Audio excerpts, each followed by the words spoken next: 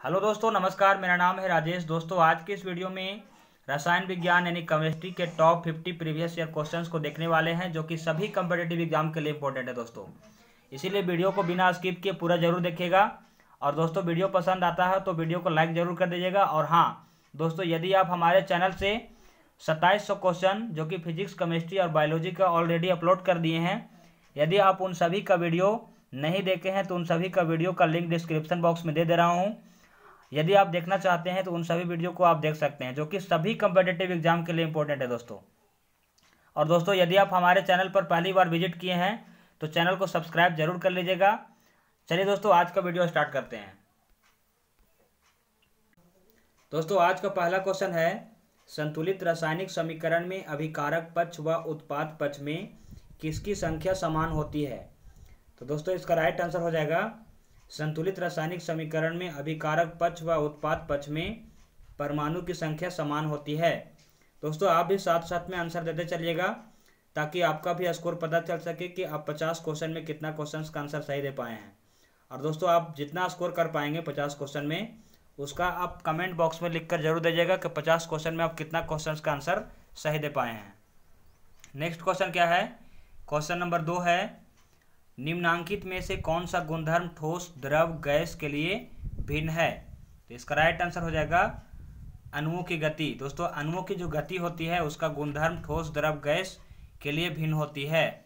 Next question है, सूर्य से ऊर्जा उत्सर्जित होती है तो सूर्य से ऊर्जा उत्सर्जित होती है नाभिक के संलयन के द्वारा। नेक्स्ट क्वेश्चन क्या है? क्वेश्चन नंबर चार है, जब कोई वस्तु धनावेशित होती है तो वह क्या करती है? तो वह इलेक्ट्रॉन को परित्याग कर देती है। इसका राइट आंसर हो जाएगा option number A next question है क्वेश्चन नंबर पाँच है। क्वेश्चन नंबर पाँच है दोस्तों। नाभिकीय रिएक्टर में भारी जल यानी ड्यूटेरियम ऑक्साइड का प्रयोग किस रूप में किया जाता है? तो, तो इसका राइट आंसर हो जाएगा मंदक के रूप में प्रयोग किया जाता है। नेक्स्ट क्वेश्चन क्या है? एल्केन का सूत्र क्या होता है? तो एल्केन का सूत्र होता है, क्वेश्चन नंबर छः का राइट आंसर हो जाएगा option number B C N H two N plus two होता है। नेक्स्ट क्वेश्चन है, ऐसे दो तत्वों जिसमें इलेक्ट्रॉन की संख्या भिन्न भिन्न होती है, लेकिन जिनकी द्रव्यमान की संख्या समान हो, उसे क्या कहते हैं? तो दोस्तों, उसे संभारिक कहते हैं। दोस्तों, बहुत इंपॉर्टेंट क्वेश्चन है दोस्तों। नेक्स्ट क्वेश्चन है क्वेश्चन नंबर आठ है, ऐसे परमाणु जिनके परमाणु क्रमांक समान परंतु परमाणु भार भिन्न भिन्न होते हैं, क्या कहलाते हैं? तो दोस्तों, इसका राइट आंसर हो जाएगा, उसे समस्थानिक कहते हैं। नेक्स्ट क्वेश्चन है दोस्तों, ध्यान दीजिएगा नेक्स्ट क्वेश्चन है, किसी तत्व की परमाणु भार 35 है तथा इलेक्ट्रॉन 18 है तो उस तत्व में प्रोटॉन की संख्या कितनी होगी? तो इसका भी राइट आंसर क्या हो जाएगा? ऑप्शन नंबर बी अठारह ही होगी। नेक्स्ट क्वेश्चन क्वेश्चन नंबर दस है। किस अणु में बंद कोण अधिकतम होता है? तो दोस्तों, इसका राइट आंसर क्या हो जाएगा? राइट आंसर हो जाएगा option number D C O two अणु में बंद कोण अधिकतम होती है। नेक्स्ट क्वेश्चन है, हीरा में कार्बन चार एक दूसरे से अनुबद्ध होते हैं तो इसका राइट आंसर क्या हो जाएगा? क्वेश्चन नंबर ग्यारह का राइट आंसर हो जाएगा option number A tetrahedral next question है, क्वेश्चन नंबर बारह है, थियोकॉल रबर है तो थियोकॉल रबर है, इसका राइट आंसर क्या हो जाएगा? राइट आंसर हो जाएगा संश्लिष्ट रबर, थियोकॉल संश्लिष्ट रबर होता है। नेक्स्ट क्वेश्चन क्वेश्चन नंबर तेरह है, निम्नलिखित में से किसमें विद्युत सह संयोजन एवं सह संयोजन बंद होते हैं? तो राइट आंसर इसका क्या हो जाएगा? क्वेश्चन नंबर तेरह का राइट आंसर हो जाएगा। Option number C sulphur dioxide next question question number चौदह है, किस गैस से सड़े सड़े अंडे की तरह गंध आती है? तो दोस्तों, इसका राइट आंसर क्या हो जाएगा?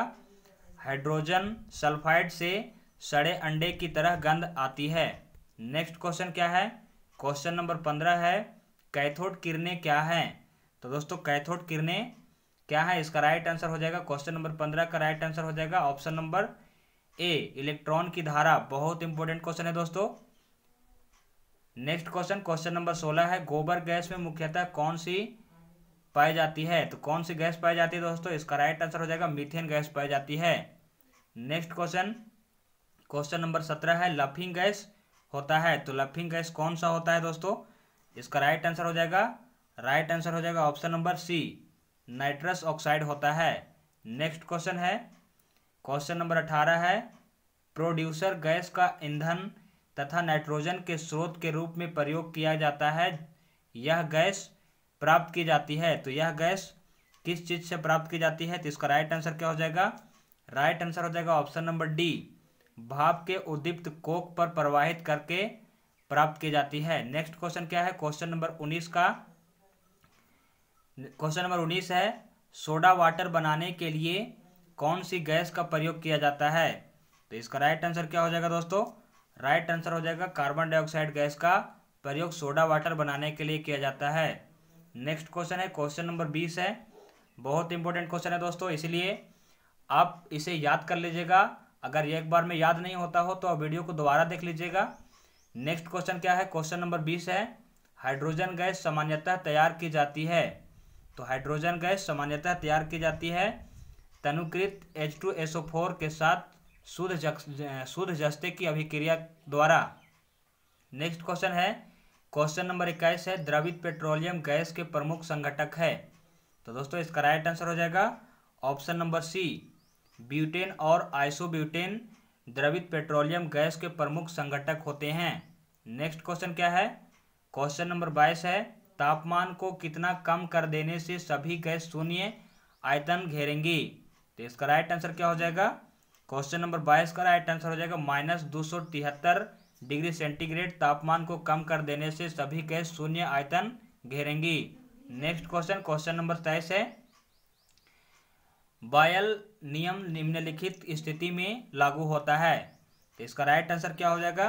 राइट आंसर हो जाएगा बायल नियम नियत तापमान के लिए लागू होता है। नेक्स्ट क्वेश्चन है। क्वेश्चन नंबर चौबीस है। तापमान और दाब की समान स्थितियों में, सॉरी, समान स्थितियों के अंतर्गत सभी गैसों के समान आयतन में अणुओं की समान संख्या रहती है। यह नियम क्या कहा जाता है? तो इस नियम को क्या कहा जाता है दोस्तों? क्वेश्चन नंबर चौबीस का राइट आंसर हो जाएगा। इस नियम को अवेगाद्रो नियम कहते हैं। इसका राइट आंसर हो जाएगा option number A. Next question question number पच्चीस। सर्विस स्टेशनों पर मोटर कारों की की जाने वाली प्रदूषण जाँच द्वारा निम्नांकित में से किसकी जाँच व अनुमान किया जाता है? तो इसका राइट आंसर हो जाएगा क्वेश्चन नंबर पच्चीस। बहुत इंपॉर्टेंट क्वेश्चन है दोस्तों। इसका राइट आंसर हो जाएगा ऑप्शन नंबर ए सीसा व carbon next question question number छब्बीस है दोस्तों। दोस्तों, उम्मीद करता हूँ कि आप पच्चीस में अधिक से अधिक स्कोर प्राप्त कर पाए होंगे दोस्तों। उम्मीद करता हूँ कि चौबीस तो सही ज़रूर कर दिए होंगे। नेक्स्ट क्वेश्चन क्वेश्चन नंबर छब्बीस है। आदर्श गैस की ऊर्जा आधारित है। तो इसका राइट आंसर क्या हो जाएगा? क्वेश्चन नंबर छब्बीस का राइट आंसर हो जाएगा। ऑप्शन नंबर सी आदर्श गैस ऊर्जा तापमान पर आधारित होती है। नेक्स्ट क्वेश्चन है। क्वेश्चन नंबर सत्ताईस है। दो गुब्बारों को हाइड्रोजन तथा हीलियम के समान ग्राम अणुओं से भरा जाता है। दोनों में से एक ही आकार के छेद किए जाते हैं। सबसे पहले कौन सा गुब्बारा संकुचित होगा? तो इस बहुत इंपॉर्टेंट क्वेश्चन है दोस्तों। तो इसका राइट आंसर हो जाएगा हाइड्रोजन से भरा हुआ जो गुब्बारा होगा, सबसे जल्दी संकुचित हो जाएगा। नेक्स्ट क्वेश्चन क्या है? नेक्स्ट क्वेश्चन है दोस्तों, एक अवेगाद्रो संख्या का मान कितना होता है? बहुत इंपॉर्टेंट क्वेश्चन है दोस्तों। तो एक अवेगाद्रो संख्या का जो मान होता है, यह होता है ऑप्शन नंबर बी सही होगा। छः पॉइंट ज़ीरो दो दो गुने दस के पावर तेईस होता है। नेक्स्ट क्वेश्चन है दोस्तों क्वेश्चन नंबर उनतीस है एक मोल बराबर होता है। तो दोस्तों, एक मोल बराबर होता है, क्वेश्चन नंबर उनतीस का राइट आंसर हो जाएगा। छ गुने दस के पावर तेईस होता है। नेक्स्ट क्वेश्चन है एनटीपी पर चवालीस पॉइंट आठ लीटर सी के मोल की संख्या कितनी होगी? तो इसका राइट आंसर क्या हो जाएगा दोस्तों? राइट आंसर हो जाएगा option number B sorry, option number A होगा। दो, इसका राइट आंसर हो जाएगा। नेक्स्ट क्वेश्चन है नेक्स्ट क्वेश्चन है दोस्तों एनटीपी पर किसी द्रव के एक मोल का आयतन होता है। बहुत इंपॉर्टेंट क्वेश्चन है दोस्तों, यह इसका राइट आंसर हो जाएगा। बाईस पॉइंट चार लीटर होता है। नेक्स्ट क्वेश्चन क्या है? क्वेश्चन नंबर बत्तीस है। कार्बन मोनोऑक्साइड की अभिक्रिया 300 डिग्री सेंटीग्रेड पर हाइड्रोजन से कराने पर क्या बनती है? तो इसका राइट आंसर क्या हो जाएगा? क्वेश्चन नंबर बत्तीस का राइट आंसर हो जाएगा। मीथेन गैस बनती है। नेक्स्ट क्वेश्चन क्वेश्चन नंबर तैतीस है। क्वेश्चन नंबर तैतीस है दोस्तों। विद्युत बल्ब में कौन सी गैस प्रयुक्त होती है? तो विद्युत बल्ब में बहुत इंपॉर्टेंट क्वेश्चन है दोस्तों। विद्युत बल्ब में नाइट्रोजन गैस भरी जाती है। नेक्स्ट क्वेश्चन है। नेक्स्ट क्वेश्चन है दोस्तों। ट्यूब लाइट में मुख्य रूप से गैस भरी जाती है तो ट्यूबलाइट में जो गैस भरी जाती है, इसका सही उत्तर होगा पारे की वाष्प तथा आर्गन को भरा जाता है। इसका राइट आंसर हो जाएगा option number B next question question number पैंतीस है। कौन सी गैस सिगरेट लाइटर से निकलती है? बहुत इंपॉर्टेंट क्वेश्चन है दोस्तों। इसका राइट आंसर हो जाएगा ब्यूटेन गैस जो होती है सिगरेट के लाइटर से निकलती है। नेक्स्ट क्वेश्चन क्वेश्चन नंबर छत्तीस है। सक्रिय गैस परमाणुओं से सबसे बाहरी कक्षा में कितने इलेक्ट्रॉन होते हैं? तो दोस्तों, इसका राइट आंसर हो जाएगा ऑप्शन नंबर सी आठ इलेक्ट्रॉन होते हैं। नेक्स्ट क्वेश्चन क्वेश्चन नंबर सैंतीस है।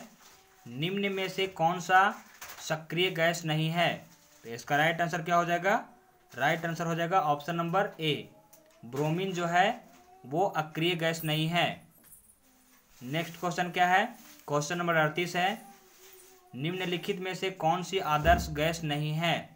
तो इसका राइट आंसर क्या हो जाएगा? राइट आंसर हो जाएगा ऑप्शन नंबर सी सिलिकॉन जो है, वो आदर्श गैस नहीं होती है।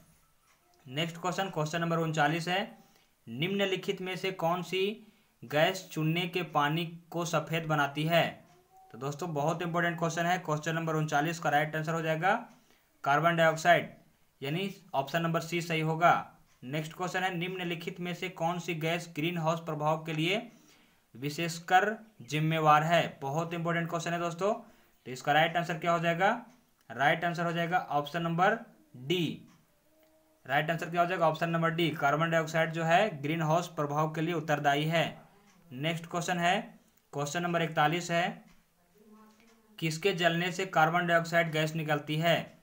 तो दोस्तों, बहुत इंपॉर्टेंट क्वेश्चन है। क्वेश्चन नंबर इकतालीस का राइट आंसर क्या हो जाएगा? हीरा को जलने से कार्बन डाइऑक्साइड गैस निकलती है। नेक्स्ट क्वेश्चन ग्रीन हाउस प्रभाव में पृथ्वी के वातावरण को गर्म होना किसके कारण से होता है? तो दोस्तों, इसका राइट आंसर क्या हो जाएगा? क्वेश्चन नंबर बयालीस का राइट आंसर हो जाएगा। इंफ्रारेड किरणें के उपस्थिति के कारण वातावरण का गर्म हो जाना होता है। नेक्स्ट क्वेश्चन क्या है? क्वेश्चन नंबर तैतालीस है। अश्रु गैस का रासायनिक नाम क्या है? बहुत इंपॉर्टेंट क्वेश्चन है दोस्तों। इसीलिए आप ध्यान दीजिएगा। अश्रु गैस का रासायनिक नाम है क्लोरोएसिटोफिनोन। रिपीट करते हैं दोस्तों, क्लोरोएसिटोफिनोन। नेक्स्ट क्वेश्चन क्या है? क्वेश्चन नंबर चौवालीस है। बहुत इंपॉर्टेंट ये भी क्वेश्चन है दोस्तों, निम्न में से एक परमाणविक गैस है। तो क्वेश्चन नंबर चौवालीस का राइट आंसर क्या हो जाएगा? इसका राइट आंसर हो जाएगा ऑप्शन नंबर डी हीलियम जो है, वो परमाणविक गैस है। नेक्स्ट क्वेश्चन है